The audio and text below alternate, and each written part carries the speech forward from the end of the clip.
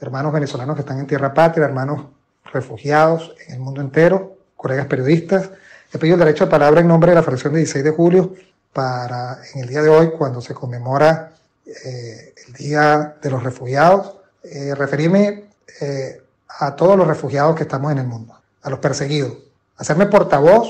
como uno más de ellos, como uno más de casi 7 millones, o cuidado si no más, de venezolanos que hemos tenido que seguir huyendo, perseguidos por la dictadura de Nicolás Maduro. Y por la dictadura de Nicolás Maduro y también por la de Hugo Chávez. No podemos obviar que en el año 2002, en aquella famosa rueda de prensa de radio y televisión, cuando el difunto Hugo Chávez destituyó a más de 20.000 personas en PDVSA, nuestra principal empresa, obreros, trabajadores, técnicos, profesionales de la más alta categoría, tuvieron posteriormente que salir en un acto eh, exclusivamente indignante, violando los principios, los preceptos de la Constitución, cuando se establece que todo ciudadano, eh, todo ciudadano venezolano tiene derecho al trabajo, y violentando la ley del trabajo, porque fueron funcionarios que no cometieron ningún tipo de falta o de delitos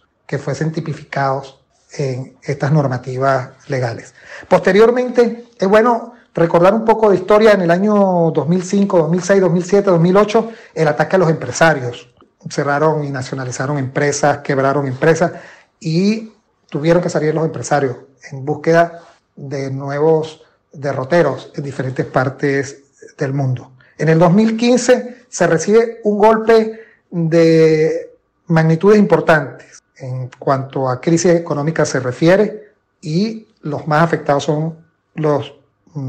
la familia, los ciudadanos venezolanos de la clase media, y salen casi 700 mil venezolanos fuera de las fronteras de Venezuela hacia el exterior, representando un 2.3% de la población venezolana. Y como era de anunciarse, y se anunció en su debido tiempo en el año 2018, bueno, se produce nada más ni nada menos que la hiperinflación, y esto eh, aumentó a un 2.3 millones de ciudadanos venezolanos, que representaban el 7.3 6% de la población nacional para eh, refugiarse o asilarse de la persecución que se le hacía desde el régimen del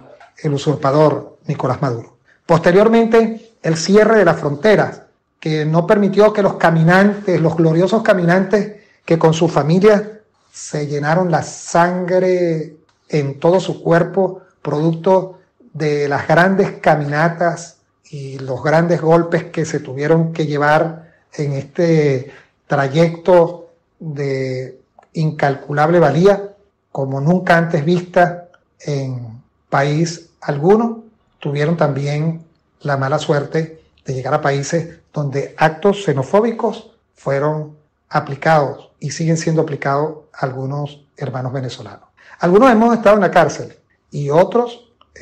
hemos estado en la cárcel y en el exilio y otros han estado en el exilio. Se pretende banalizar a los que están en Venezuela que no han hasta el momento estado presos ni hasta el momento han tenido que tener que salir por gracia divina, que los venezolanos de allá parecieran ser venezolanos distintos a los venezolanos de acá. Incluso hay unos que osan, dirigentes políticos, algunos, como lo hizo un dirigente político del Estado Lara, recientemente, miembro de este Parlamento, decir que porque no, íbamos, no, no nos íbamos para Venezuela. Bueno, no nos vamos para Venezuela porque salimos de Venezuela perseguidos. Y eso no se puede permitir. Miren, hermanos, colegas diputados, uno dice estas cosas aquí para decirle en familia, porque es que no podemos permitir, es un juego del, del régimen, querer dividir a Venezuela, y Venezuela es una sola. Por eso a los que estamos fuera de Venezuela, lo que queremos es que se nos atienda, que los recursos que van a las fundaciones, a las organizaciones no gubernamentales, lleguen verdaderamente a quienes son y a quienes los necesitan, a los que han tenido que ver fallecer a sus familiares aquí o a los que están enfermos y están muriendo de mengua, que ayuden eh, con los gobiernos amigos del gobierno interino, que son la mayoría que reconocen al pueblo, al gobierno interino, que respeten la condición de los venezolanos en cuanto a su